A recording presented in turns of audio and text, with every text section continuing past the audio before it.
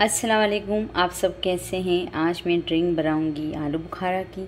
इसके लिए मैंने पाँच आलू बुखारा लिए हुए हैं और मैं ये बेरी की ड्रिंक डालूँगी।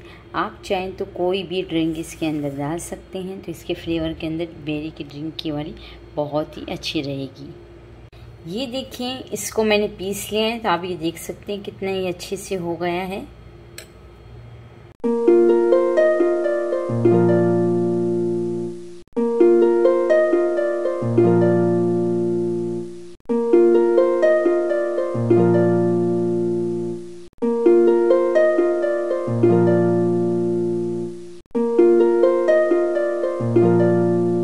देखिए, हमारे मज़ेदार आलू बुखारा की ड्रिंक तैयार है। आप लोग इसे ज़रूर बनाइएगा।